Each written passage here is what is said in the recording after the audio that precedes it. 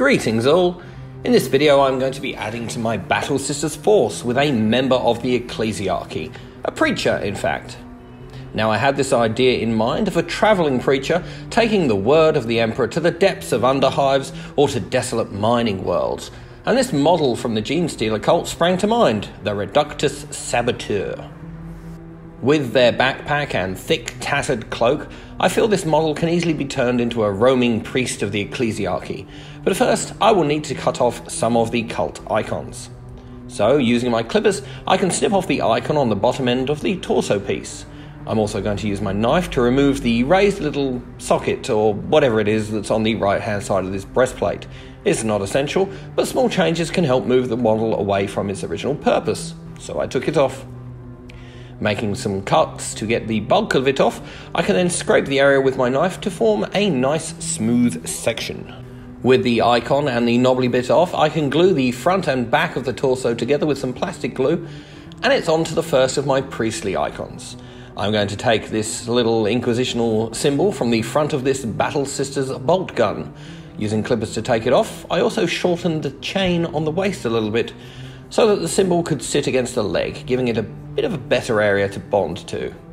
With that trimmed, it can then be glued in place. The Preacher has a couple of weapon options, and honestly, one seems way cooler and better than the other, so I'm going to make myself a Zealot's Vindictor from this here Flamer taken from the Escher Gang upgrade sprue. It looks a little more ramshackle than the Battle Sisters ones, and it fits the aesthetic I'm going for here. Although I am going to trim off the feathers on the bottom as the Vindictor has a melee component which I will be attaching to the bottom of this. Taking this spare halberd I have from the Celestian Sacresants squad, I'm going to trim it down to just behind the power pack area, and then snip off the axe part of the halberd with my clippers also. This will leave me with a sort of bayonet with the Sororitas symbol halfway down it and using my knife, I can trim and shave the sides that the axe part came from to get a nice fit to the front end of the flamer. It took a couple of comparisons between the parts to get a nice smooth fit, but once I was happy, I could add some plastic glue to bond them together. To help hide the join between the parts a little, I'm going to take this extra from the Heavy Intercessor kit. I think it's a reader of some sort, but I figure it would work nicely on the side of the flamer, perhaps a heat gauge or something to adjust the power of the weapon. Either way, I would need to take off the little knobbly bit at the top that would normally attach it to a belt. And with that done, it can be glued in place on the side of the flamer. Now, to fit the Escher arms, I needed to trim the strap for the backpack a little as the saboteur arms go out sideways.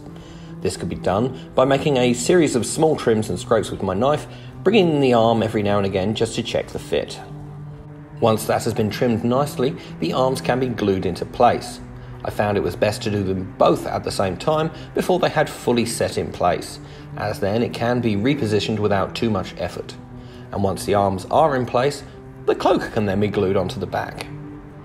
Once this was done, however, I noticed that the back of the left arm had a little bit of a gap, so took some modelling putty and squished it into place just to fill that up. Taking a little more of my modelling putty, I made a ball shape and dropped it into the neck area, as there's quite a sizable gap in there from the original head. I gently press this to form a slight bowl shape in there. Now, the head I'm planning to use is this one from the Battle Sisters kit. The hair is quite short, and that eye patch will lean into the backstory of a roaming priest. This could just be pushed into the putty before it sets and positioned appropriately. Now once the putty has set, you might need to just pop it off and add a bit of super glue, but I found that it held quite well. For the gap on the leg where the saboteur's tools go, I was hoping to find some of the long pouches from the Reiver's kit that I had lying around. However, I could not, so I opted to instead snip off the dynamite stick and the grenades from the tools, and then I could use my knife to clean the area.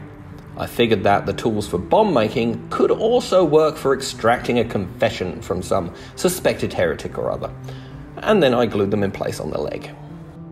The next piece of this puzzle here would be the backpack. Like the toolkit, it has some bomb making equipment that can be easily removed with some clippers. Although I suppose wires could come in handy for electrocuting suspected heretics.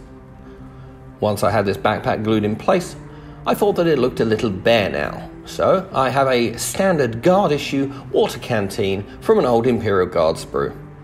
Cleaning up the edge where it was cut from a set of pouches in a previous kit bash, I glued it onto the side of the backpack, as every good traveller needs to have a supply of fluids with them. Now, the only other thing I did to this preacher to finish it off was to take a big old scroll from one of the belts in the Sisters Repentia kit, and I attached it to the side of the flamer to help hide the join a little more. Sadly, the camera had turned off at this point, and I did not notice, so I don't have footage of that. I am sorry. And with a lick of paint and a base to match the rest of my army, this preacher is ready to head out into the galaxy to spread the word of the God Emperor, by force if necessary, and to purge the mutant, the alien, and the heretic with righteous fire or a swift stab from a powered bayonet. A big thank you to everyone watching, and I hope you enjoyed this video. If you did, then consider hitting the like and subscribe buttons, and a huge thank you to those who have done so already. I am off to purge the galaxy of some heretics, or lose horribly due to forgetting most of my army rules again. So until next time, stay safe and have a good one all.